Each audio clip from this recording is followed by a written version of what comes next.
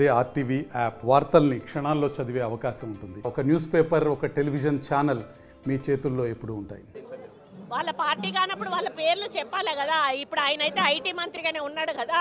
Twitter accounts అన్నీ కూడా ఎవరియో తీయాలి కదా. తీసి వీడు ఈ ఈ మనిషి ఈ ట్విట్టర్ అకౌంట్ మెయింటైన్ చేస్తూ ఉన్నాడు. ఈ మనిషికి మాకు సంబంధం లేదు.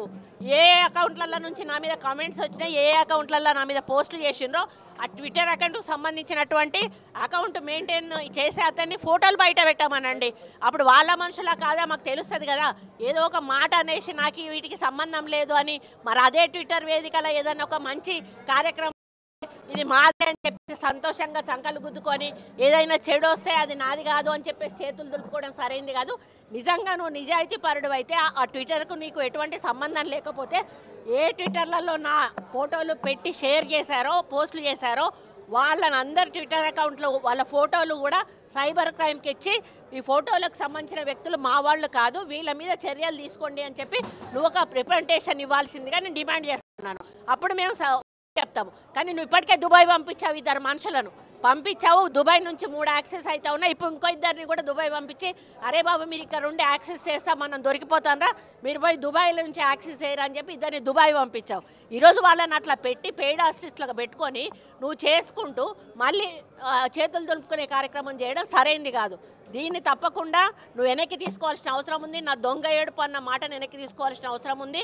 ఈరోజు మా వాళ్ళు కాదు అని చెప్పిన మాటను కూడా నువ్వు నిరూపించాల్సిన అవసరం ఉంది. వాళ్ళని బయటికి తీసుకొచ్చి వాళ్ళని మనుషులు వాళ్ళు కాదు అని నిరూపించాల్సిన బాధ్యత నీ మీద ఉంది. లేకపోతే ఖచ్చితంగా అది మీ ద్వారానే జరిగిందని మేము నమ్మాల్సి వస్తుంది. ఏడుపులు పెడబొబ్బులు కాదు. గతంలో రేవంత్ రెడ్డి కేసీఆర్ మీద మాట్లాడినప్పుడు ఏం చేసింది? వినాయల్తో రేవంత్ రెడ్డి అసలు బూతులు బూతులు నేర్పిందే కేసీఆర్.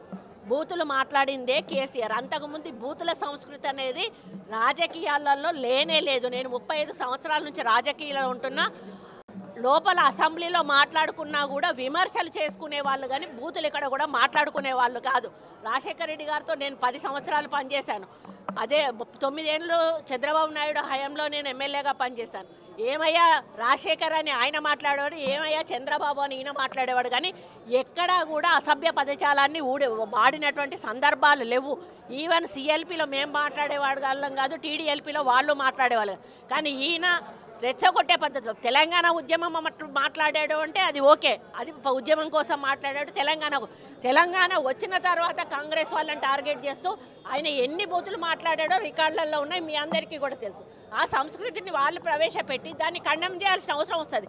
ఎదుటోడు బూతు మాట్లాడినప్పుడు మేము బూతుతోటే ఖండం చేయాల్సి అది బూత చూపించి మేమే మాట్లాడుతున్నాము వాళ్ళే మాట్లాడుతున్నారు మేము మాట్లాడతాం లేదని చెప్పడం అనేది సమంజసం సినిమా జీవితాలతో కూడా కేటీఆర్ ఆడుకున్నారని చెప్పేసి మీరు కొంతమంది డైవర్సులు కూడా.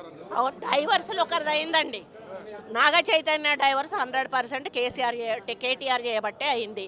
ఎందుకంటే ఎన్నిక ఎన్ కన్వెన్షన్ హాల్ని కూలగొట్టొద్దు అని అంటే సమంతను నా దగ్గరికి పంపాలి అని చెప్పి ఆయన డిమాండ్ చేశాడు. సమంత గారిని వెళ్ళమని చెప్పి నాగార్జున వాళ్ళు ఫోర్స్ చేశారు. సమంత నేను వెళ్ళను అనింది. వెళ్ళను అంటే వాళ్ళు చెప్తే వింటే విను లేకపోతే వెళ్ళిపోండి డైవర్స్ ఇచ్చారు. అది ఓపెన్ సీక్రెట్. అది అందరికీ కూడా ఇంటర్నల్గా మీడియా వాళ్ళంతా వాళ్ళకి ఇండస్ట్రీ వాళ్ళంతా కూడా తెలుసు. ఈరోజు సమంత జీవితం అన్యాయం కావడానికి హండ్రెడ్ పర్సెంట్ కేటీఆరే కారణం. అదేవిధంగా ఇద్దరు ముగ్గురు హీరోయిన్లు పెళ్ళిళ్ళు కూడా చేసేసుకున్నారు. ఎందుకు అన్నట్టు ఈ డ్రగ్స్ కేసు రాగానే ఈరోజు మీకు తెలుసు రకుల్ ప్రీత్ సింగ్ ఆల్రెడీ బయట ఆమె పెళ్ళి చేసేసుకుందా? ఇంకొకరిద్దరు హీరోయిన్స్ కూడా గబగబా పెళ్ళిళ్ళు చేసేసుకున్నారు. ఈ తలకాయ నొప్పి మాకేంద్ర బాబు? మేము ఇందులో ఇరుక్కుంటాము. ఆ రోజు ఆయన అధికారం ఉండి ఈ విధంగా వాళ్ళ ఫోన్లు ట్యాప్ చేసి వాళ్ళు ఎవరితోటన్నా సీక్రెట్గా మాట్లాడుకున్న వాటిని రికార్డ్స్ని తీసుకొని ఆ రికార్డ్స్ను వాళ్ళకి వినిపించి బెదిరించి ఇగో ఈ రికార్డు మీద ఉంది నా దగ్గర. మీరు కానీ రాకపోతే ఈ రికార్డు నేను బయట పెడతా అనే పద్ధతిలో చాలా మంది హీరోయిన్లను లొంగపరుచుకున్నాడు. వాళ్ళందరినీ డ్రగ్స్కి అలవాటు చేశాడు. ఈయన కూడా డ్రగ్స్ వాడాడు. దానితోటే ఆ రోజు డ్రగ్స్ కేసు కానీ ఈ రోజు ఫోన్ ట్యాపింగ్ కేసు కానీ చాలా సీరియస్గా మన ప్రభా ప్రభుత్వం తీసుకోవడం జరిగింది. ప్రభుత్వం వచ్చింది కాబట్టి వాళ్ళ రిప్రజెంటేషన్ వాళ్ళు ఇవ్వరండి. వాళ్ళు బయటకు రారు. కాబట్టి ఎంక్వైరీలో వాళ్ళ పేర్లు వచ్చినా కూడా గోప్యంగా ఉంచడం జరుగుతుంది. ఎవరైతే విక్టిమ్ ఉన్నారో వాళ్ళ మీద సీరియస్గా యాక్షన్ తీసుకుంటారు. కేటీఆర్ గారు క్యారెక్టర్ గురించి మరి వారి గతంలో వారు చేసినటువంటి కార్యక్రమాల గురించి మహిళల మీద వారికి ఉన్నటువంటి మరి చులకన భావం గురించి మాట్లాడుతూ మరి ఆయన నన్ను రెచ్చగొట్టే విధంగా మాట్లాడినప్పుడు నేను భావోద్వేగానికి లోనై మరి కొన్ని ఆయన మీద నేను విమర్శలు చేయాల్సిన అవసరం వచ్చింది. ఆ సందర్భంలో నాకు ఇంకెవరి మీద కూడా వ్యక్తిగత ద్వేషం కానీ మరి వ్యక్తిగత కోపం కానీ లేదు. అనుకోని ఆ సందర్భంలో కొన్ని ఒక కుటుంబం మాట నేను తీయడం ఏదైతే ఉందో అది అనుకోకుండా నా నోటు నుంచి జరగడం జరిగింది. ఆ తర్వాత వారి ట్వీట్ చూసిన తర్వాత నేను కూడా చాలా బాధపడ్డాను. ఎందుకంటే ఏ విషయంలో నేనైతే బాధపడతా ఉన్నానో ఆ విషయంలో నేను ఇంకొకరిని నొప్పించాను అని తెలిసి రాత్రి వెంటనే మరి దాన్ని వెనక్కి తీసుకుంటూ నేను ట్వీట్ చేయడం జరిగింది. కాబట్టి నాకు జరిగిన అవమానం నేను పడ్డ బాధ ఇంకొకరు పడకూడదు అనేటువంటి ఒక ఆలోచనతోటి నేను బేషరతుగా దాన్ని వెనక్కి తీసుకోవడం జరిగింది. కానీ కేటీఆర్ విషయంలో మాత్రం తగ్గేది లేదు. ఆయన తప్పనిసరిగా క్షమాపణ చెప్పాల్సిన అవసరం ఉంది. ఆయనే చేసేదంతా చేసి ఈ రోజు నన్ను క్షమాపణ చెప్పాలి అని డిమాండ్ చేయడం ఏదైతే ఉందో మరి దొంగ దొంగ అని తన తనే దొంగ ఈ దొంగ దొంగ అని అరిచినట్టుగా ఉంది. ఆ విషయంలో మాత్రం ఎట్టి పరిస్థితుల్లో కూడా వెనక్కి తగ్గేది లేదు.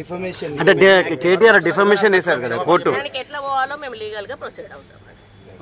మరిన్ని వీడియోస్ కోసం ఛానల్ని సబ్స్క్రైబ్ చేయండి. లేటెస్ట్ అప్డేట్స్ కోసం వాట్సాప్ ఛానల్ని ఫాలో చేయండి. అండ్ లింక్ డిస్క్రిప్షన్లో ఉంది.